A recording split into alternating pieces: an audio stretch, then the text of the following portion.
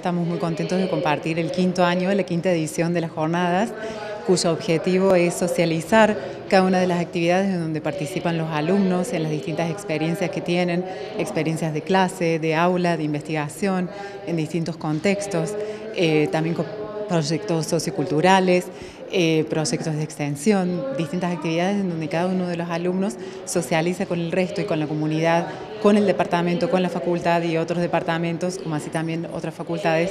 las experiencias que ellos realizan en distintos ámbitos. Principalmente la idea es que los alumnos puedan tomar un rol activo en el departamento, puedan participar de incluso becas de investigación, conocer cómo funciona cada una de ellas y las experiencias que han tenido ellos en cada una de las materias también.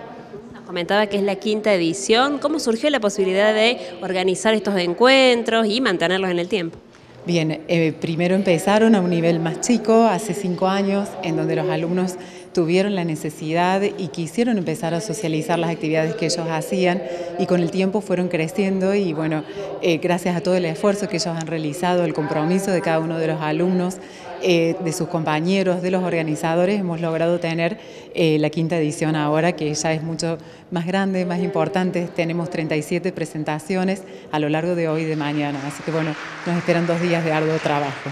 ¿Cuáles son algunos de los temas generales que se presentan por parte de los alumnos en estas investigaciones, en estos proyectos que están realizando? Bien, los temas van desde,